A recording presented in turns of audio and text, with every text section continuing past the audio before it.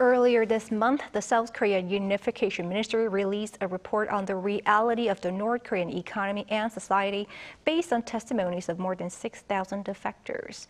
Minister Kim Yung-ho says it's K-dramas that are driving people in North Korea to want to leave the regime.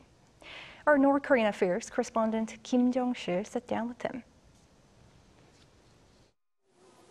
While K-dramas have fans around the world, there are also those watching in secret, in hiding in North Korea. Fans in other countries may admire the unique plots, dramatic twists, and of course the actors. But for some people in North Korea, watching K-dramas led them to a decision that could cost them their lives. The report suggests that more than 83% of North Korean defectors watched South Korean dramas when they were in the North. When they watch South Korean dramas, they can feel that South Korean society is free and wealthy. And the reality of South Korea in these dramas is different from what the North's regime has brainwashed its people to believe. Stairway to Heaven, My Love from the Star, and Autumn in My Heart, classics for K-drama fans, were among those frequently mentioned. The number of defectors last year was about three times higher than in 2022. It was 196 people, and about half of them were the MZ generation of North Korea in their 20s and 30s. The number proves that K-dramas have a big impact on young people in the North. The spread of K-dramas actually poses such a threat to the regime that back in 2020, Pyongyang made a stricter law that bans North Koreans from watching it. Those caught spreading K-dramas could now even face the death penalty. With the regime tightening its already tight controls, the actual lives of the residents aren't getting better.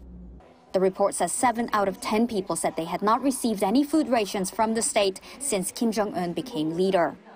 A whopping 38.3% said they have never been to a hospital. And almost no one in North Korea has ever used the internet. Surely, I think leader Kim Jong un also knows the suffering of the residents and that this, if this continues, the regime isn't sustainable. Um, where is he heading with this? I think if the Kim Jong un regime doesn't give up on developing nuclear and missile programs, it'll fall into a military dilemma. If the regime keeps spending its resources on nuclear and missile development, the economic hardships within North Korea will get worse. And people's feelings will be against the regime even more. Can doubt fill the minds of North Korean people? The report says this is already happening and the number of doubters is increasing. 56.3% of the respondents who have recently defected said they feel negative about the succession planning that keeps power within the Kim family. What's the reason for South Korean government to let the international community know the reality of North Korean residents? North Korea's poor human rights situation and security issues cannot be separated.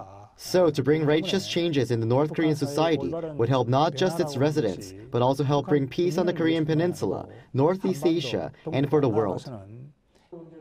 The minister added that North Korean residents would wish to reunify not with China nor Russia, but with South Korea And that Seoul will continue to strive for reunification that guarantees peace and freedom. 김정실, 아리랑 뉴스.